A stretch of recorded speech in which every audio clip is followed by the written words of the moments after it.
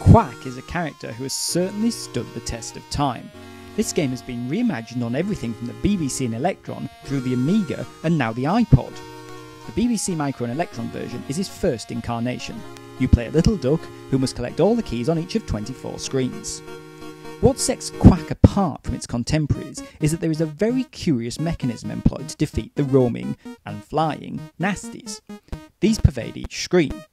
They can't be killed, but if you manage to hit them with a bubble, they will temporarily disappear. The trouble is that when they reappear, they move at double speed and they're immune from further bubbles. This means you often have to double think over whether to zap them or just try and avoid them. The game is incredibly smooth and reactive to controls. On top of this, it makes fantastic use of the Electron's colours. As screens progress, the game adds floating bubbles which Qwak must bounce on, and the potion bottles have a variety of effects depending on how much fruit remains on the screen when you collect them. All in all, this is very classy stuff.